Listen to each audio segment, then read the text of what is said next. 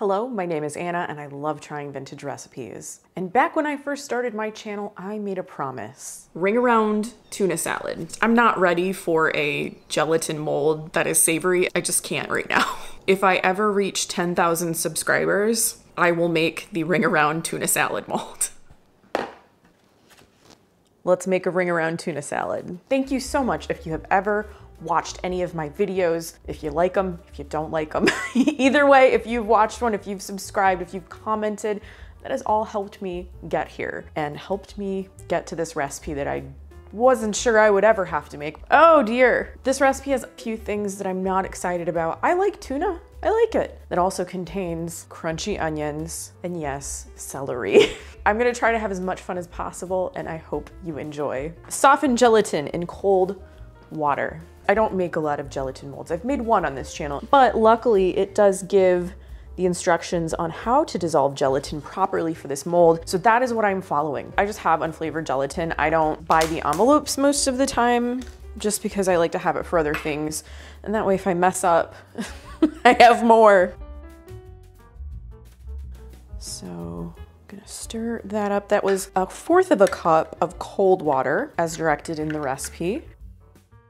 And now I'm supposed to take a pan, just as a small pan of hot water. This is not boiling water, this is, this is just hot water. It says I have to place this in this hot water for 10 minutes. So while that's sitting in the hot water, I'm gonna prep my gelatin mold. This recipe requires a one and a half quart, that's six cups, gelatin mold, and I do happen to have one.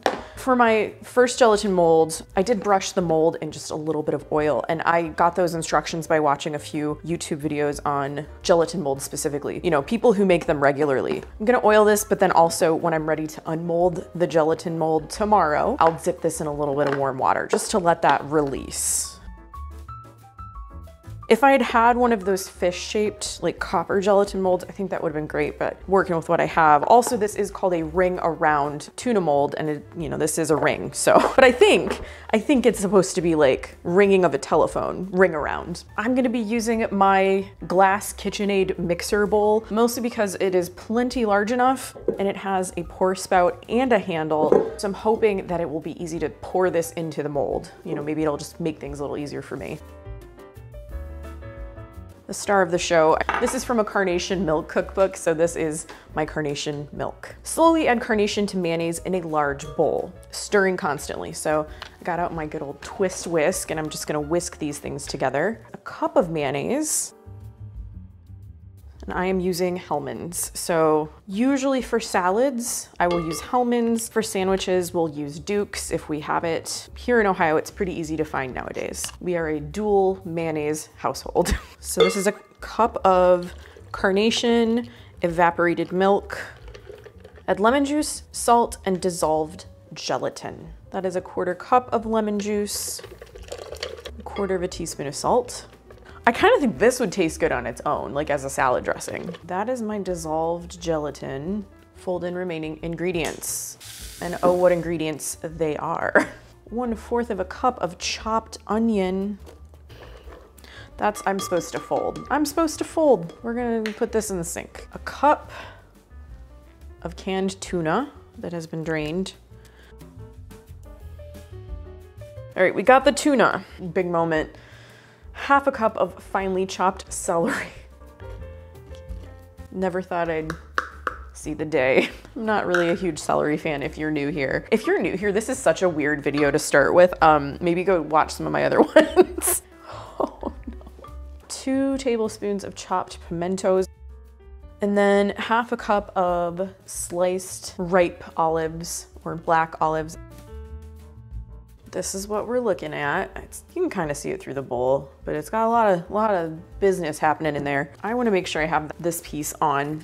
This is like a three piece mold, so this part actually comes apart, which is nice. Just in case, I am gonna put this on a bowl, you know, extra protection, because this is gonna sit in my refrigerator overnight. Not something I am used to doing. We gotta rotate, we gotta rotate. Didn't quite fill, but I, it's probably fine. I mean, I'm, this is pretty low stakes. I'm not like serving this to anybody but myself. I'm gonna do just a little cleanup here. put the lid on top and I'm gonna put this in my refrigerator overnight. We'll see what the results look like tomorrow. While my ring around tuna salad is quite literally chilling in the fridge, I thought I would answer some frequently asked questions that usually pop up in my comments. So the number one question I get, where did you get your apron? I wear three different aprons typically in my videos. I do have one holiday apron and I did get a new apron for the fall that I cannot wait to show you, but usually people are asking about this one, this lovely sort of green retro pear and apple design. This is from a collection that Orla Kiely did for Target back in I think 2008. Orla Kiely is a designer and her textiles are usually this like repeating leaf pattern or you know, something like this. I actually have a collection of bedding she did years ago in our guest room that's like the leaf pattern. You might think it seems a little familiar. But anyway, because this was produced back in I think 2008, you can't just go buy one in a store. They do sometimes pop up on eBay and Etsy. I bought this like when it was first produced and I had no idea that people were sort of collecting these things. If you happen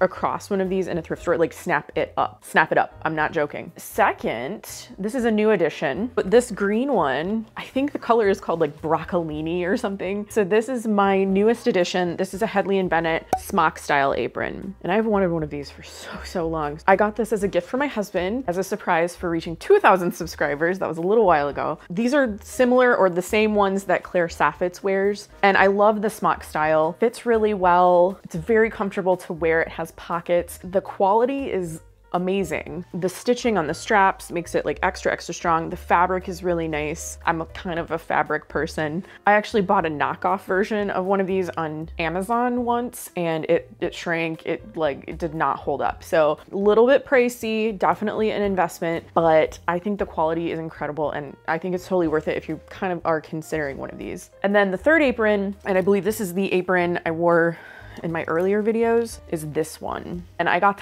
this at a thrift store uh, in 2000, so a long time ago, for a nickel, okay?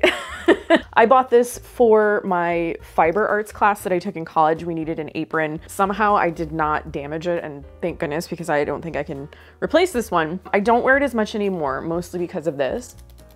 You can hear that when I'm filming because I clip my mic to it. So I'm thinking that maybe if I put some rubber bands there or something, it won't do that. How old are you? I'm 42. What is that thing in the bottom of your oven? the thing in the bottom of my oven is a well-loved well-used pizza stone. I like making homemade pizza. With a pizza stone, you're not supposed to expose it to like extreme temperatures right away. When you wanna use one, you put it in your oven and you preheat your oven like at the same time. So, you know, you don't preheat your oven and then put the stone in, you put the stone in first and then bring it up to temperature with your oven. And it's the same thing when you're done using the stone. You don't wanna take it out and like expose it to like an extreme temperature change. So you're supposed to let it cool down with your oven. And what typically happens for me, and I suspect I'm not alone in this, I forget about it. so I let it cool down with my oven and it just kind of lives in there most of the time, which is fine. Some people say it actually makes the temperature of your oven a little bit more consistent. So it's not hurting anything in there. What is my definition of vintage? This is a hot topic, folks.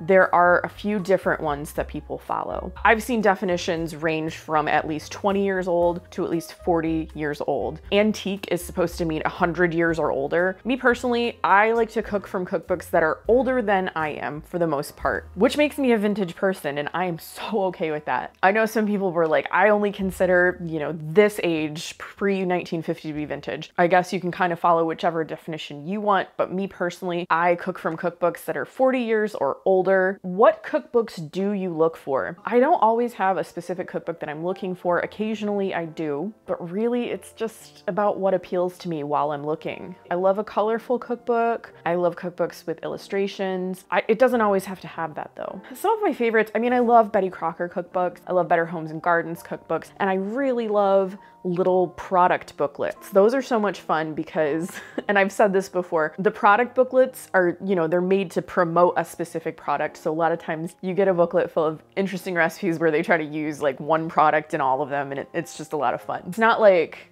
I automatically scoop up all cookbooks from a certain era. It's just kind of like what strikes my fancy at the time. Why don't you do XYZ to the recipe you're cooking. I've tried to say this a little bit more in my videos, especially since I've had more new viewers. I try to cook the recipes from my vintage cookbooks as closely as I can to the original. I don't get there 100% of the time because some ingredients like aren't available in the same form or, you know, I don't grind my own flour. I'm not doing that. I love all of you, but that's just not something that I'm willing to do. There are certain things that I'm just like, I'm just gonna use the modern ingredients that are available to but I don't tend to alter like spice too much or, you know, I try to replicate whatever it says in the cookbook and then, you know, I'll taste it and I might give a couple of comments on what I personally would have done in the recipe. What does in the wild mean? I think there are a lot of other people who thrift that like to use this term. What if I'm looking for Betty Crocker's cookie book? I could go to Etsy or eBay and just do a search for this and get it. You know, I would probably find several copies and I could just purchase it. But if I want to find this in the wild, that means I want to go out and I want it to be kind of like Kismet. Oh my gosh, I was at a thrift store. Look what I found. I'm so excited. It is a surprise, it is a delight, and that's what I mean by in the wild. And that is a lot of times like my preferred method of shopping for cookbooks. I, I like to do it that way, and there's absolutely nothing wrong with searching for something on eBay or Etsy. I got my Betty Crocker recipe card library, my green one. I got that by searching on eBay. Certain things I will do that. I will like specifically search for them, but vast majority of my finds are like in the wild finds. This one's not so much much a question, but I do want to talk about Dottie.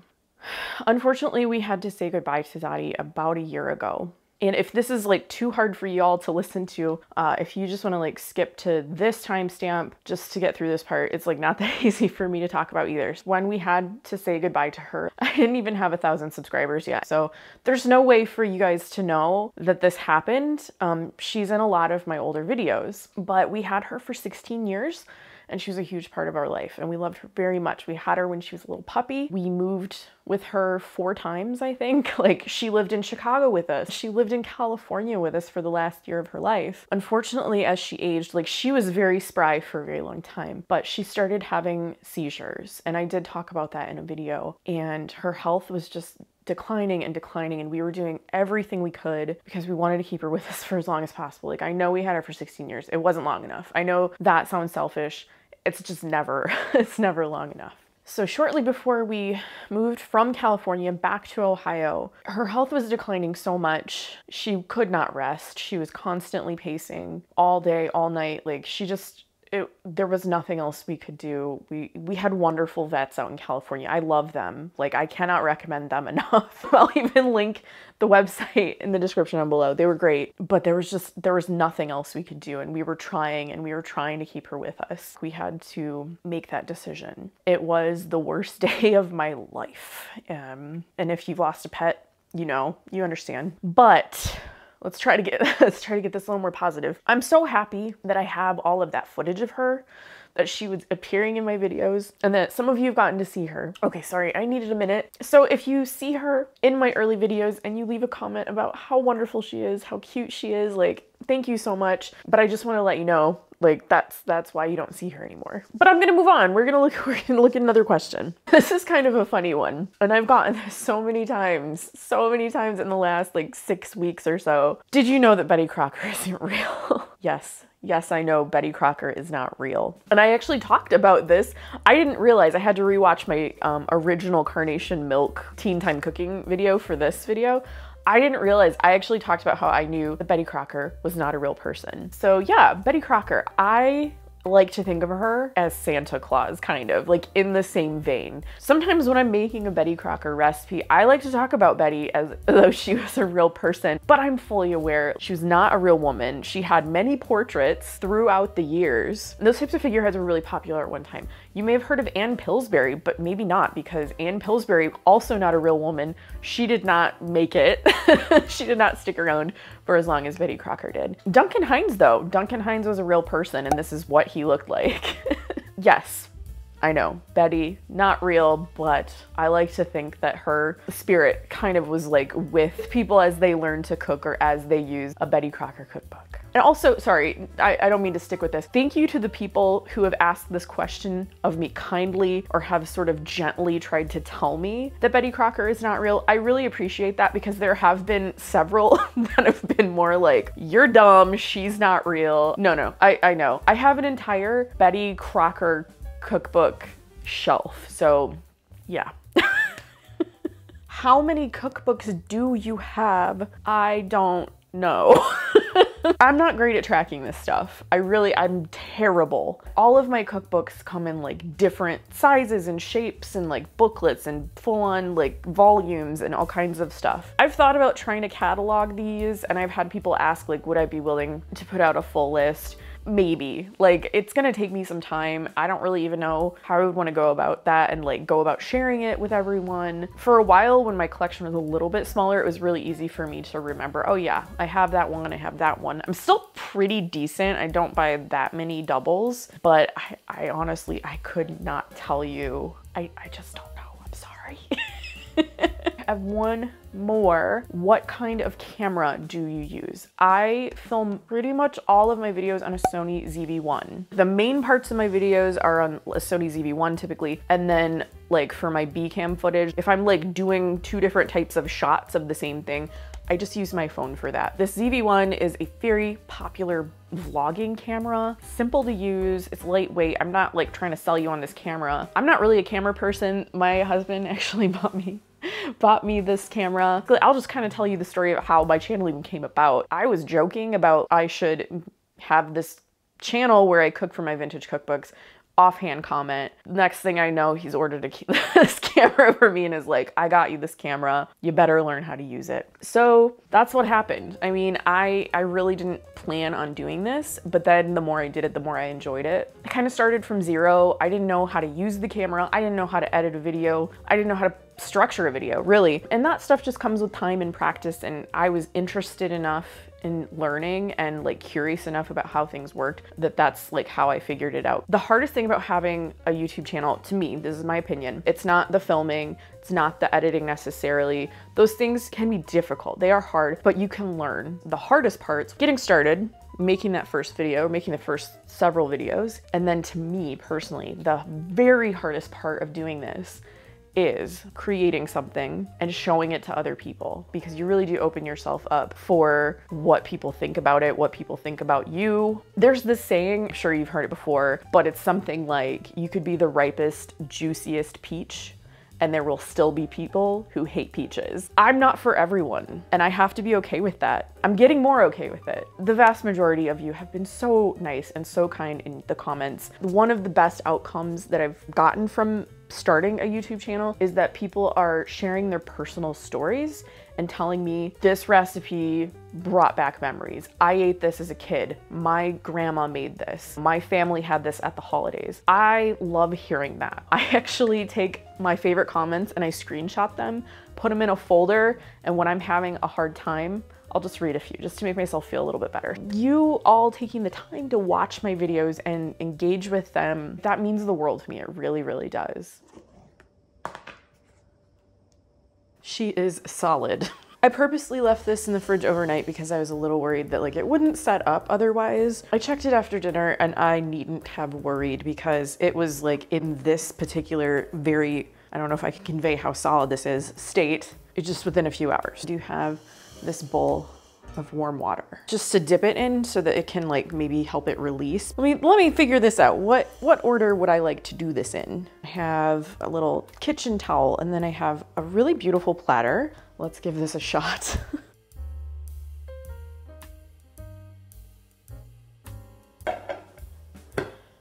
Okay, one cool thing about this is that you can see. You can see through it and I can see that this is not releasing yet. Oh wait, could I take this off?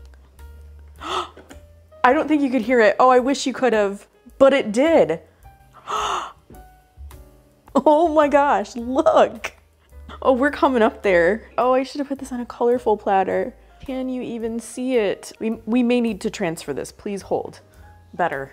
Now we're talking. Pink plate very festive. Okay, so I have a couple of things to say before I try this. This is just kind of like out of my wheelhouse. It is a little out of character for me. Even the tuna salad itself, if it wasn't gelatinous in nature, is not one that I would normally choose. I like my tuna salad pretty plain. I don't like a lot of extra crunchy things. If you've watched me for a little while, you know. Yeah, there's like a lot of uh, challenging things in this for me, but that's okay. I promised I would make it and I did. Just because I feel that way. If you make this recipe and you like this recipe, like keep on making it do it if it makes you happy. It is your thing. You can own that. But for me, like this is this is just like not what I'm usually used to. Anyway, enough stalling. We're gonna cut into this baby. I don't know if you can see my cut there, but it brought a little, little couple goodies with it. I'm just gonna go real small. Oh, oh no. Oh, it, it's still very solid. So that went well. Before I dig in, I just wanted to give you a little, little bit of a cross section of what it looks like on the plate. Also, this very cute plate, it came from the Dollar Tree. Oh, the big taste. I'm just, I gotta just go in. You know, I'm gonna like aim for this olive because I like olives and I want a little something that I know I'm gonna like out of this. But I will make sure that I also have a celery. There's a celery there.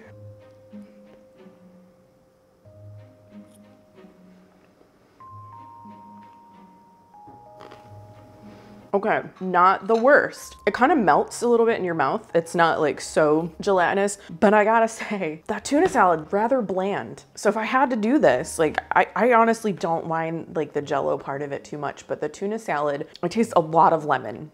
So I think to balance that acid out, needs a little salt maybe, and like maybe a little onion powder. I think onion powder would probably lend a little bit more flavor than those crunchy onions. I'm gonna take another bite because I am a brave woman. Oh, you know what? And I didn't even get a pimento the first time, so that was a big mistake. We're gonna do it again. That was a much crunchier bite. I've taken two bites. The second bite, I'm adjusting to it. I liked it a little better, the tuna salad nature of it. I still think it needs a little bit of salt. There's a little bit of salt in here, but I think it could just use a little bit more, but really it's not as, it's not quite as scary. It's not quite as scary. Truly, if you took the crunchiest parts out and you seasoned it up a little bit better, I could see this kind of almost being like um, some sort of spread for crackers. Like you just kind of dig your crackers into it, like get your Ritz or your club or whatever your saltines and eat it that way. Will I make it again? Probably not. Still, I, I don't think I'll make it again. But you know what? I am glad I gave it a shot. I would be willing to try some more jello molds, probably sweet ones. I will say it is so when that jello mold like releases onto the plate. So I did it. I kept my promise because you all helped me get to 10,000 subscribers. I wouldn't be here without you. And I so appreciate the time that you take to watch my videos, to engage with them, to to leave me comments. I had a lot of fun making these videos, like whatever size my audience, but I'm just so glad that some of you are entertained by them, some of you are actually soothed by them. Thank you so much. Thank you. That's all I can really say, and I will